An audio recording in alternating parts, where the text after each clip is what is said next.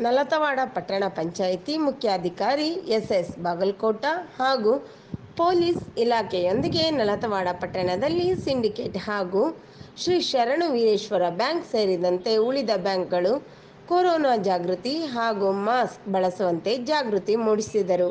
ಇನ್ನು ಸ್ಯಾನಿಟೈಸರ್ ಅನ್ನು ಬ್ಯಾಂಕ್ ಒಳಗಡೆ ವ್ಯವಸ್ಥೆ ಮಾಡಲು ತಿಳಿ ಹೇಳಿದರು ಮತ್ತು ಎಲ್ಲರೂ ಅಂತರ ಕಾಯ್ದುಕೊಂಡು ಮಾಸ್ಕ್ ಬಳಸಲು ವಿನಂತಿ ಮಾಡಲಾಯಿತು. ಇದೇ ವೇಳೆ ಪಟ್ಟಣದಲ್ಲಿ ಇಂದು ಸೋಮವಾರ ಮಾರ್ಕೆಟ್ಗೆ ಹಳ್ಳಿಯಿಂದ ಬಂದ ಜನರಿಗೆ ಮಾಸ್ಕ್ ಹಾಕಿಕೊಳ್ಳಿ ಎಂದು ವಿನಂತಿ ಮಾಡಿದರು.